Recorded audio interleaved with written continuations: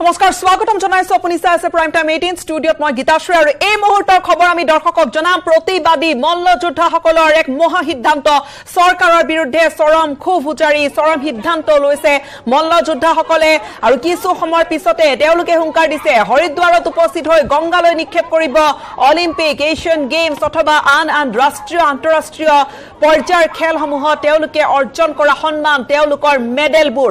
মল্লযোদ্ধাসকলৰ এই সিদ্ধান্তই বাৰুকৈ অস্বস্তিত পেলাইছে কেন্দ্ৰীয় চৰকাৰক। উল্লেখযোগ্য যে গংগাত মেডেল নিক্ষেপৰ পিছতে দিল্লীৰ যন্তৰ মন্তৰত আমৰণ অনশনত বহাৰ প্ৰতিবাদী কাৰ্যসূচী লোৱাৰ হুংকাৰ দিছে মল্লযুঁজাৰুসকলে। আৰু তেওঁলোকৰ মন্তব্য গংগাত মেডেল নিক্ষেপ কৰাৰ পিছত আৰু জীয়াই থকাৰ কোনো অৰ্থ নাই। মৃত্যু পৰ্যন্ত অনশনত বহিব বঞ্চিত অপমানিত মল্লযুঁজাৰুসকলে উল্লেখযোগ্য যে বিগত পঁয়ত্ৰিশ দিন ধৰি ভাৰতীয় এইসকল মল্লযুঁজাৰু ফেডাৰেশ্যনৰ সভাপতি তথা বিজেপিৰ সাংসদ ব্ৰিজভূষণ চৰণ সিঙৰ বিৰুদ্ধে শাস্তিমূলক ব্যৱস্থা গ্ৰহণ কৰিবলৈ প্ৰতিবাদী কাৰ্যসূচী অব্যাহত ৰাখিছে। প্ৰতিবাদে ভালে কিছুদিন অতিক্ৰম কৰিছে কিন্তু এই সন্দৰ্ভত চৰম নিৰ্বিকাৰ ভূমিকা গ্ৰহণ কৰিলে।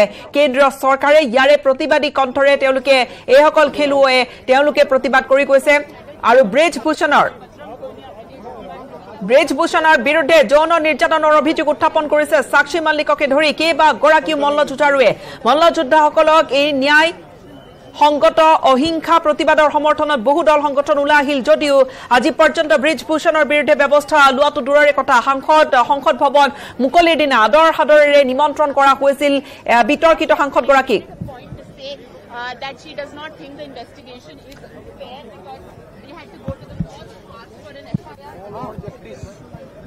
এয়া পোনপটীয়া সম্প্ৰচাৰ হৰিদ্বাৰৰ পৰা।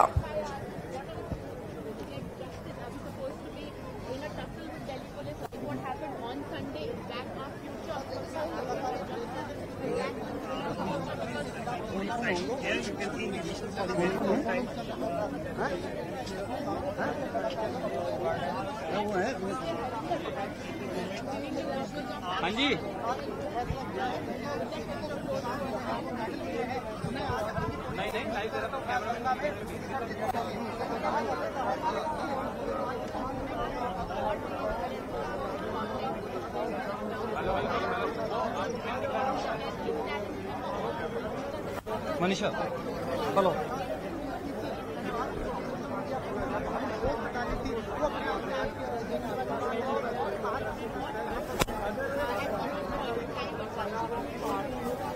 আৰু এয়া পোনপটীয়া সম্প্ৰচাৰ ইয়াত গোট খাইছে হৰিদ্বাৰত গোট খাইছে মল্লযোদ্ধাসকল।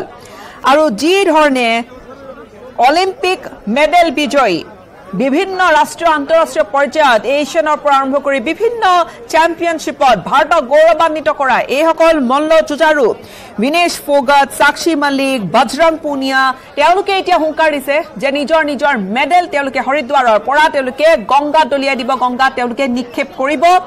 তেওঁলোকৰ প্ৰতিবাদী তেওঁলোকৰ পন্থা তেওঁলোকে প্ৰতিবাদ কৰিবলৈ বিচাৰিছে যিহেতু ব্ৰিজভূষণ সিঙৰ বিৰুদ্ধে যি ধৰণৰ যৌন নিৰ্যাতনৰ পৰা আৰম্ভ কৰি তেওঁলোকে একাধিক অভিযোগ উত্থাপন কৰি দীৰ্ঘদিনীয়া প্ৰতিবাদী কাৰ্যসূচী অব্যাহত ৰাখিছে।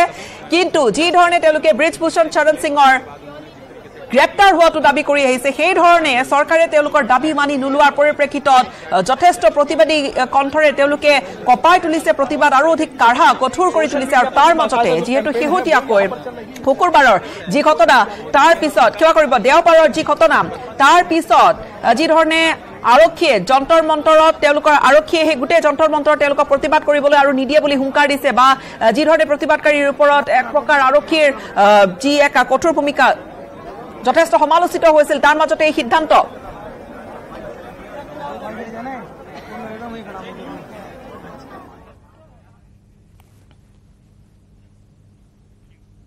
আৰু এই গোটেই আপডেট